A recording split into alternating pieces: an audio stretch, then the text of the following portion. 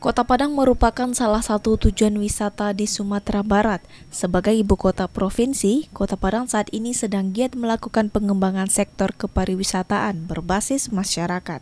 Salah satunya pemberdayaan kelompok sadar wisata atau Pokdarwis. Rabu pagi, bertempat di Jalan Kelenteng, Kelurahan Kampung Pondok dilakukan pembinaan kepada Pokdarwis Kota Tua. Hadir dalam kesempatan tersebut Ketua TP PKK Kota Padang, Kini Hendri Septa, Kepala Dinas Pariwisata Kota Padang, Eri Sanjaya, pihak kelurahan dan tokoh masyarakat setempat. Pokdarwis Kota Tua merupakan salah satu Pokdarwis di Kota Padang yang sedang berkembang dalam inovasi dan kelembagaan melalui penyediaan sarana dan prasarana bagi pengunjung. Beberapa progres dan pengelolaan secara profesional menjadi target untuk pengelolaan pariwisata di Kota Tua. Selain itu, saat ini Kelurahan Pondok telah mulai melakukan pembenahan serta modifikasi di kawasan pasar tanah kongsi melalui penataan, pembersihan dan pengecatan di beberapa sisi.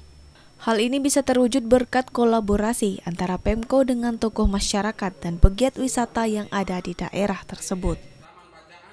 Sama-sama kita uh, membuka pembinaan untuk Pordalwis dan saya juga um, barusan habis visit ke pasar melihat uh, pasar tanah kongsi yang sekarang sudah bersih, sudah nyaman, jadi semua warga masyarakat yang mau datang ke pasar juga bisa lebih nyaman dalam berbelanja.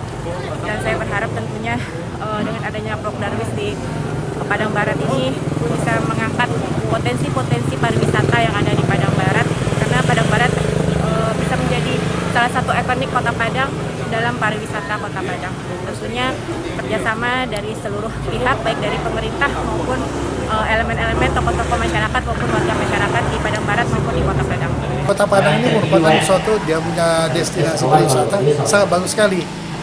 Kita punya bukit yang bersebelah satu komplek, bukit, sungai, uh, jalan, heritage-nya, maupun bangunan-bangunan tua, maupun kebudayaan, maupun di pasar tanah kongsi yang rata-rata umurnya 80 tahun.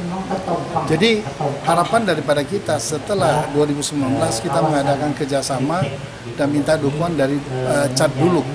Maka itu akan dicat itu yang namanya uh, jembatan Siti Nurbaya dan sekarang bangunan kita udah cat. Setelah selesai masalah pengecatan yang ini, kemudian timbul dari awal dulu memang kita punya rencana mau cat tanah fungsi. Maka saya mengadakan inisiatif dan saya ingin membangun daerah kita ini untuk tujuan wisata dan maka sekarang tanah fungsi itu sudah dicat.